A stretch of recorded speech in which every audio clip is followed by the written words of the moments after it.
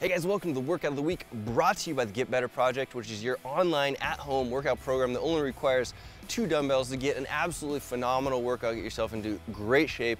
Emily and I have been proving it for the last two years, living out of a van, only having two dumbbells that we use ourselves and getting it done so that we can do all the fun things that we'd like to, being super fit, looking super good. If you would like to do this and join us in the Get Better Project, hold on till the end, do this workout, and then we'll give you a free couple of weeks in the program. Today's workout of the week is a 20 minute EMOM. So every minute on the minute for 20 minutes where minute one is 20 dumbbell or kettlebell bent over rows. So one in each hand. Minute two is 15 deep push-ups on the dumbbell handles. Minute three is 15 hollow rocks, and then minute four is 15 dumbbell push presses. So the way this works is on the minute when you start, let's say that you have those bent over rows that you're doing, you have 20 of those guys. When the minute starts, you do 20 of them as quickly as you can with high quality technique, then you get the full rest of the minute to rest.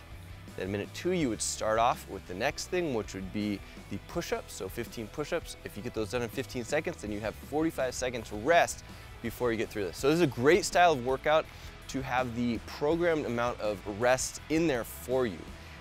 It is also cool because you don't have to blast yourself and you get to have, in this case, 20 minutes of work where you're going to have or get to practice each one of these movement patterns, okay?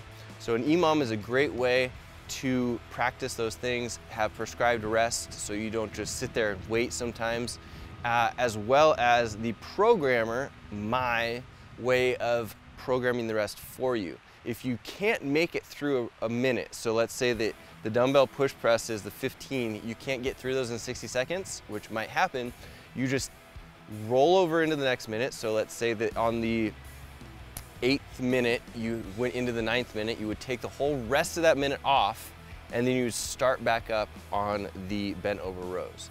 And then your total workout time would end up being 21 minutes instead of the 20 minutes.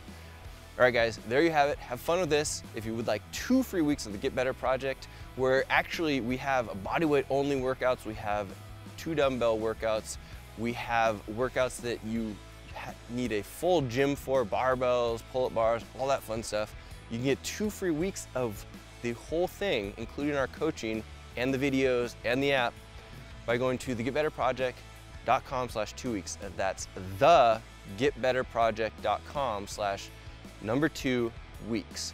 If you have any questions about it at all, let us know. You can head over there and get started today. All right, guys, let us know how you do on this workout. Let us know how it is for you. Let us know if it's challenging enough, not challenging enough for you. And if it wasn't challenging enough, you probably just need to use heavier weights. But uh, either way, have fun. All right, guys, see you next week. For the bent over dumbbell row, you're going to have the weights at your sides, just like a deadlift when you start. You're gonna hinge at your hips, just like a deadlift. Weight on the heels, toes gripping the ground, keeping the back nice and flat. Lifting yourself up off the ground, actually just to your knees this time though. Then you're gonna pull that dumbbell towards your lower abdomen okay? Or dumbbells towards your lower abdomen. So this is what the movement's gonna look like. I'm trying to keep my back flat, chest up the whole time. My shoulders roll forward as I go down and then I pull them back when I pull the dumbbells towards my abdomen.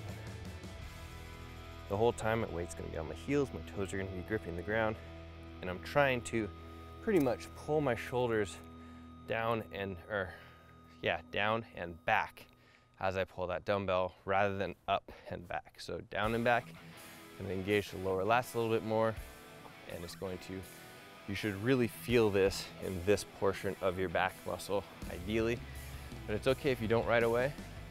Think about it, try and feel it, and then eventually it's gonna get easier and easier to do. And it's a great movement to be done.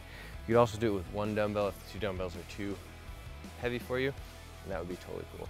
For push-ups, what you're gonna do is you're gonna get yourself into the high plank position to start. So hands are gonna be at shoulder width apart.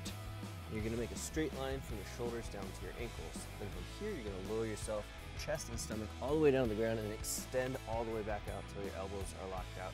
And you're gonna repeat that position up and down while you're doing the push-up. You're gonna have core engagement the whole time, so slightly sucked in in the core, and you're going to be moving your shoulders back and chest up and then forward as you press.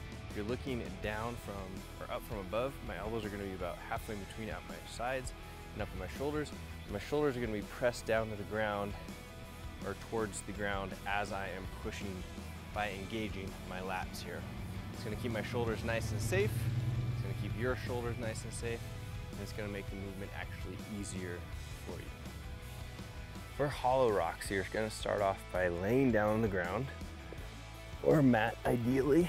Then you're going to take a position where your hands are above your head and your feet are off of the ground.